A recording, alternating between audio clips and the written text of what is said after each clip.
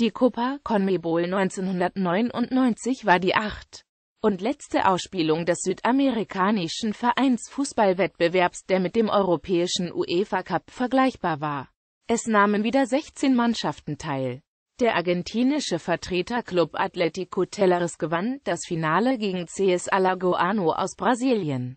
Torschützenkönige wurden gemeinsam die beiden Brasilianer Messinho von Centro Sportivo Alagoano und Marcelo Araxa vom São Raimundo Esporte Club mit jeweils vier Treffern. Erste Runde. Die Hinspiele fanden am 13., die Rückspiele 20. Oktober 1999 statt. Sternchen HS am 19., RS am 26. Oktober. Sternchen Sternchen RS am 19. Oktober. Sternchen Sternchen Sternchen RS am 21.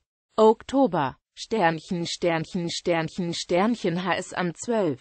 Oktober. Sternchen, Sternchen, Sternchen, Sternchen, Sternchen. Beide Teams zogen zurück. Viertelfinale. Die Hinspiele fanden am 3., die Rückspiele 9. November 1999 statt. Sternchen war bereits gegen den Sieger aus River Plate und Rentistas gelost worden. Halbfinale. Die Hinspiele fanden am 17., die Rückspiele 24.